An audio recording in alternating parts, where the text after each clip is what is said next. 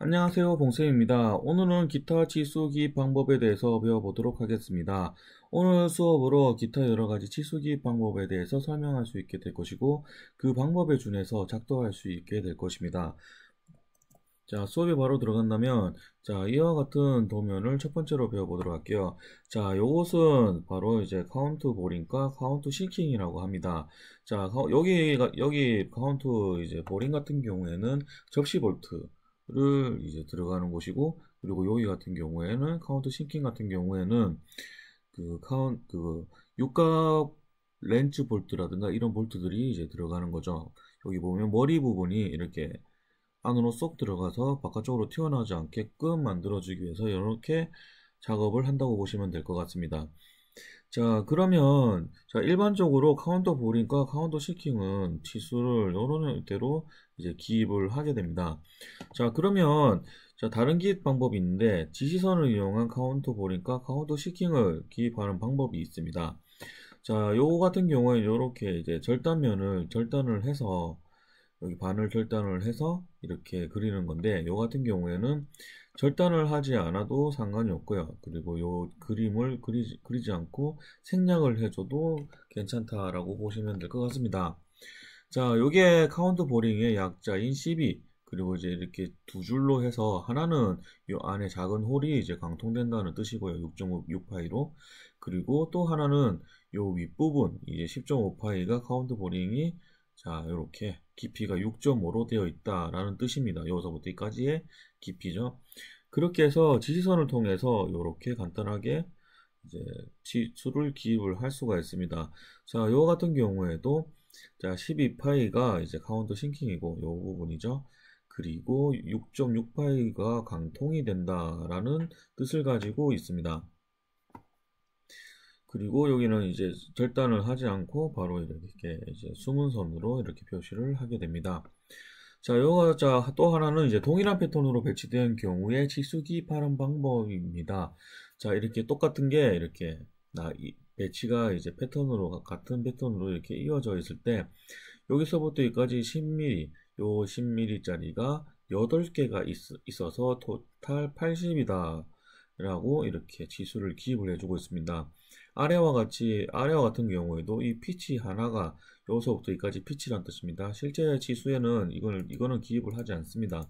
지금은 이해를 돕기 위해서 적어놨는데 자 여기서부터 여기까지가 20인 것이 4개가 있어서 80이다 라는 뜻으로 이렇게 지수를 기입을 하고 있습니다. 자 그리고 직렬 치수 기입 방법 같은 경우에는 이런 식으로 해서 직렬 치수 기입을 할 수가 있고요. 직렬 치수 기입의 장점 같은 경우에는 공간을 많이 차지하지 않는다라는 장점이 있는데 이제 단점이 뭐냐면 공차의 누적이 있어서 요구에 이제 제작을 했을 적에 문제가 될 수도 있다라는 것, 단점이 있습니다. 자, 그러면 공차의 누적이라는 게 무엇이냐면, 자, 이와 같은 도면이 있을 때 여기 공차가 하나하나가 플러스 마이너스 0.2의 공차를 가지고 있다고 생각을 해봅시다. 그러면 이걸로 이제 외주를 줘서 이제 제작을 하게 되는데 그 작업자가 제작을 하면서 최악의 경우에는 마이너스 0.2씩 0.2로 다 이렇게 제작이 될 경우가 있습니다. 그렇게 될 경우에는 이 전체 길이에 문제가 될 수도 있습니다. 이거 하나하나에는 공차에 그 크게 문제가 없지만 검수를 할 때 하지만 전체 길이는 이렇게 0.2, 0.2, 0.2 누적이 돼가지고 68.6밖에 되지 않는 그런 이제 길이에 대한 문제점이 발생할 수도 있다는 거죠.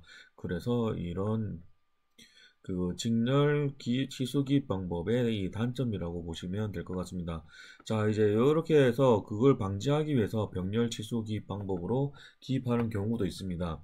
자, 이곳을 기준으로 해가지고 자 이렇게 쫙 치수를 기입하면 이것도 마찬가지로 공차가 플러스 마이너스 0.2씩 쭉 있는데 최악으로 이제 만들어진다 하더라도 전체 길이가 결국에는 69.8, 0.2밖에 차이 나지 않는다는 이제 이런 제작사의 제작 에 관련돼서 장점이 있지만 자, 이 보시다시피 공간을 굉장히 많이 차지하고 있습니다. 이렇게 공간을 많이 차지하고 있는 단점도 있다 라고 보시면 될 것 같네요. 자, 이렇게 이제 누진 치수 기입 방법은 이렇게 되어 있습니다. 자, 요거 같은 경우에는 밀링 가공할 때 이런 형태로도 많이 하고 있죠. 가공을 여기를 중심으로 해서 이제 가공 데이터를 뽑을 때 이렇게 누진 치수로 이제 기입을 하게 되면 가공 데이터 뽑기 그러니까 이제 수기로 그 데이터를 작성하기 그, 그 가공 데이터를 뽑아내기가 쉽다라는 장점이 있습니다. 자 이렇게 누진으로 플러스 플러스 플러스 돼서 이렇게 기입이 되는 형태 형태죠. 자 그러면 요 이제 병렬 치수 기입 방법에서도 자이 축에서도 이렇게 쭉 기입을 하실 수가 있다 라고 보시면 될 것 같습니다. 자 이것도 선만 가공할 때 이런 형태로 지수, 기입, 지수가 기입이 되어 있으면 좀 작업하기가 편하다. 이렇게 생각을 하시면 될 것 같습니다 자 오늘 이렇게 치수, 기타 치수 기입 방법에 대해서 배워보았습니다. 자, 다음 시간에는 치수 준비하기, 치수 기입을 준비하기에 대해서 배워보도록 하겠습니다. 그것은 치수 기입을 준비하기 위해서 치수 기입하기 이전에 치수를 적합하게 기입을 하기 위해서 설정을 하게 됩니다. 치수의 숫자 크기라든가 아니면 이제 화살표의 크기라든가 이런 것들을 여러 가지 설정을 해서 최적화되게 이거 이뻐 보이게 이제 설정을 하는 것을 말하는 거죠. 자, 오늘 이렇게 기타 치수 기입 방법에 대해서 배워보았고요. 여러분께서는 기타 치수 여러 가지 기입 방법에 대해서 설명할 수 있게 되셨고, 그것에 준해서 작동할 수 있게 되셨습니다. 자, 본 강의가 도움이 되셨다면 구독과 따봉과 구독 알람 설정하시는 걸 잊지 마시고요. 다음 시간에 또 뵙도록 하겠습니다. 감사합니다.